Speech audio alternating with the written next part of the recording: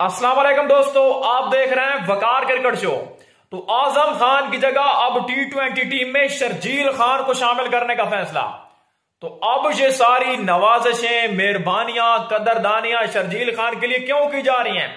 पहले कोई एहसास नहीं था शर्जील खान का, पहले यह बंदा आपको नज़र नहीं आ रहा था। और इसके अलावा क्या बाबर आज़म को एक बार फिर कौमी टेस्ट और टी ट्वेंटी टीम की कप्तानी दी जा रही है? लेकिन किंग का मानना भी तो ज़रूरी है ना। आज सब कुछ आपके साथ इस वीडियो में डिस्कस करने वाला हूँ। तो जी हाँ दोस्तों, सबसे पहले आपके लिए बड़ी गुड न्यूज़ है। अगर आप हैं बाबर आज़म के रियल फैंस हो तो जी हाँ दोस्तों, बाबर आज़म को आप टी ट्वेंटी सीरीज़ के फ़ौरन बाद इन एक्शन देख पाएँगे बीपीएल के अंदर। जी हाँ दोस्तों, बांग्लादेश प्रीमियर लीग का आगाज़ 19 जनवरी को हो रहा है, लेकिन पाकिस्तान और न्यूजीलैंड की टी ट्वेंटी सीरीज़ का अख्ताम हो रहा है 21 जनवरी को। तो यानी कि 21 जनवरी के बाद बाबर आज़म बांग्लादेश प्रीमियर लीग में अवेलेबल हो जाएँगे रामपुर राइडर को, और बाबर आज़म 10 फरवरी तक अवेलेबल होंगे, यानी कि उसके बाद एक हफ़्ता बाबर रेस्ट लेंगे, और फिर पीएसएल का आगाज़ हो जाएगा 17 फरवरी को। तो बाबर आज़म 10 फरवरी तक बांग्लादेश प्रीमियर लीग का जो टेंथ एडिशन इस मरतबा होने वाला है, उसमें बाबर आज़म इन एक्शन नज़र आएँगे। यार, रमीज राजा भी इसके अंदर कमेंट्री करने वाला है तो यानी कि इस मरतबा कुछ बेहतरी तो इसके अलावा पाकिस्तान के और प्लेयर्स भी हैं, जिसमें साइम अयूब है, फखर जमान है, मोहम्मद रिजवान है। एहसानुल्लाह है बाबर आज़म की टीम कैसा लेकिन रीहैब की वजह से शायद वो मिस करेंगे ये एडिशन लेकिन पाकिस्तान के और प्लेयर्स भी हैं, जिस तरह नवाज़ हो गए तो ये सारे आपको बीपीएल के अंदर इन एक्शन नज़र आएँगे। लेकिन हम यहाँ पर बात करेंगे शर्जील खान को लेकर।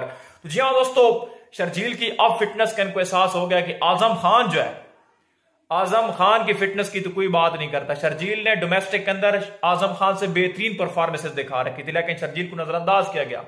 लेकिन अब मैनेजमेंट से आवाज़ें आ रही हैं कि हम पीएसएल के बाद जो हमारा नया प्लान होगा, उसमें हम शर्जील खान को एज ए ओपनर भी ट्राई कर सकते हैं। लेकिन पहले इनको कोई एहसास नहीं था, शर्जील इनके सामने था और भी सारे प्लेयर्स अहमद शहजाद ने परफॉर्म किया हुआ था। लेकिन उनको नजरअंदाज किया गया। लेकिन अब जब आईने में मुँह देख लिया है तो अब मजबूरन इनको दोबारा अपने पुराने प्लेयर्स की तरफ़ वापस लौटना पड़ेगा, और ये हकीकत है। शर्जील खान का अब इनको एहसास हो गया ताबड़तोड़ ओपनिंग बल्लेबाज शर्जील जो पावर प्ले में गेंदबाजों का हाल करता है, वो गेंदबाज ही बेहतर तरीके से समझते हैं, इस बात में तो कोई दो राय है नहीं ना। तो अब उनको आज़म और शर्जील की फिटनेस नज़र आ रही है। आज़म की फिटनेस तो खैर इनको अब भी नहीं नज़र आ रही है कि शर्जील की फिटनेस की बात करते लेकिन आज़म की फिटनेस की बात तो नहीं करते। और इसके अलावा, अगर जहाँ पर बात करें बाबर आज़म की तो शाहीन शाह ने तो भाई कहा है कि जब अल्लाह पाक ने हज़रत यूसुफ अलैहिस्सलाम को इज़्ज़त दी थी, कुएँ से निकाल के मिस्र का बादशाह बना दिया तो हम भी इस तरह के दिनों का इंतज़ार कर रहे हैं कि हम भी इनशाला ऊपर चढ़ेंगे। यानी कि हमारी जो टीम है विनिंग ट्रैक के ऊपर एक बार फिर चढ़ेगी।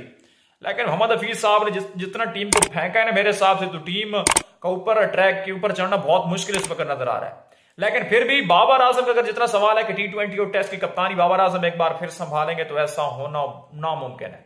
अब बॉबी बादशाह इस तरह का कारनामा सर अंजाम नहीं देगा। अब बाबर आज़म ना तो टेस्ट की और ना टी ट्वेंटी की, बल्कि किसी भी फॉर्मेट की कप्तानी नहीं लेगा। क्योंकि बंदे का बल्ला अब चलना शुरू हो चुका है। ऐसे बैटर पाकिस्तान को जिताए तो वही पाकिस्तान के लिए बेहतर है। तो बरा जनाब बाबर आज़म कप्तानी किसी भी सूरत में नहीं लेंगे। कोई और नया कप्तान आ सकता है, लेकिन बाबर आज़म अब कप्तानी दोबारा ही संभालेंगे। अपडेट से चलेंगे तो लाइक और सब्सक्राइब ज़रूर कर देना।